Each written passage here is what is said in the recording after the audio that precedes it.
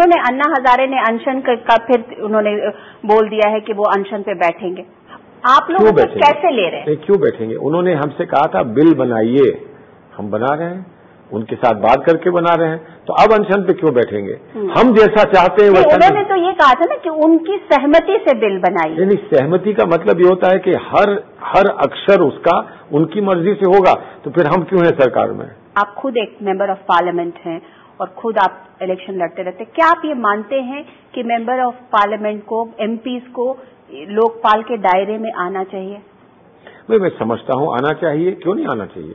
हम हम जब तैयार हैं तो मंत्री तैयार हैं दायरे में आने के लिए। हम सिर्फ़ ये कह रहे हैं कि जिस पर पूरे दे, पूरा देश का की व्यवस्था निर्भर होती है प्राइम मिनिस्टर उसको अलग रहने दीजिए और वो भी जब तक जब तक वो प्राइम मिनिस्टर है। जिस दिन प्राइम मिनिस्ट्री से हटे तो बात बात इसी पर अटकी हुई है प्रधानमंत्री पर। नहीं नहीं जुडिशरी पर है प्रधानमंत्री पर है और फिर उनका ये मानना हमारा ये मानना कि करप्शन इन हाई प्लेसेस जो बड़े पदों पर लोग हैं जो ज़्यादा जो ज़्यादा प्रभावशाली लोग हैं उन पर आप जाँच करें।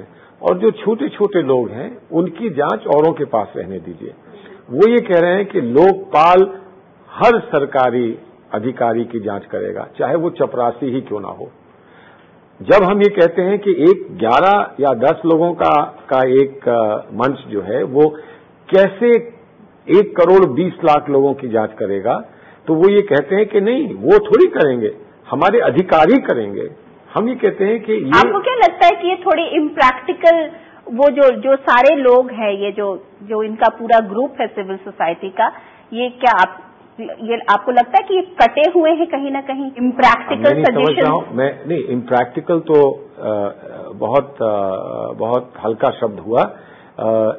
अनलॉफुल अनकॉन्स्टिट्यूशनल और अगर वो ये समझते हैं कि हम नया एक संविधान लिखेंगे तो वो हमारे बस की नहीं है।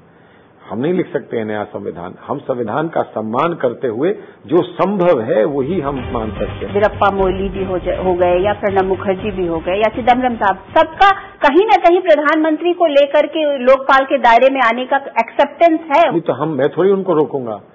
लेकिन मेरी राय में प्रधानमंत्री को नहीं होना चाहिए दायरे में और जहाँ तक मुझे समझ है और याद है हम सबकी इसमें एक ही राय है। जो चिदम्बरम जी ने कहा है, वो ये कहा है कि इसके दो पक्ष हो सकते हैं। कुछ लोग कहते हैं होना चाहिए, कुछ लोग कहते हैं नहीं होना चाहिए। कुछ लोग बीच का रास्ता निकालने की कोशिश कर रहे हैं कि कंडीशनली होना चाहिए। लेकिन इस पे चर्चा तो करें वो तो सिर्फ़ कहते हैं। लेकिन ये बात जो है लोकपाल बिल के मसले पर ये तो प्रणब मुखर्जी ने बहुत दिन पहले कहा था बहुत जब वाजपेयी जी की सरकार थी मुझे याद है तब भी कहा था कि प्रधानमंत्री को लोकपाल के दायरे में होना चाहिए। वीरप्पा मोइली जी लॉ मिनिस्टर हैं उन्होंने अभी थोड़े दिन पहले फिर से इस बात को रिपीट किया। चिदम्बरम साहब का भी यही व्यू है। तो कहीं न कहीं एक एक दूसरा पक्ष एक दूसरा व्यू कैबिनेट के अंदर भी है।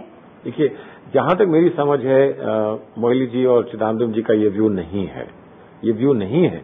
वो सिर्फ़ इतना कहते हैं कि हम चर्चा करने को तैयार हैं। हमारी बात समझिए क्यों नहीं होना चाहिए। आप अपनी बात समझाइए क्यों होना चाहिए। आपकी पार्टी के सीनियर लीडर्स इनको जब चिल्लर पार्टी कहते हैं तो आप क्या, क्या देखते हैं? क्या आपको लगता है कि आपको चिल्लर पार्टी के साथ बात करनी पड़ रही है नहीं नहीं वो लोग जब हमसे कहते हैं कि हम लोग सब भ्रष्ट हैं और फ्रॉड हैं और झूठे हैं तो उनको लगता नहीं कि हम ऐसे लोगों से बात क्यों कर रहे हैं? क्यों हमसे बात कर रहे हैं अगर हम ऐसे हैं? ये कह दिया कि हम लोग इसलिए नहीं चाहते हैं लोकपाल बिल क्योंकि हम में से आधे जेल जाएँगे। ये कह दिया उसके बाद भी हमसे बात कर रहे हैं।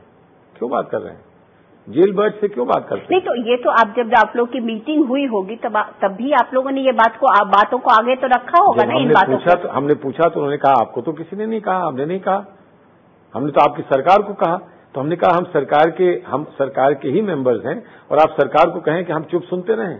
तो कहा आप छोड़िए ना इस बात को छोड़िए अब काम करते हैं चलिए।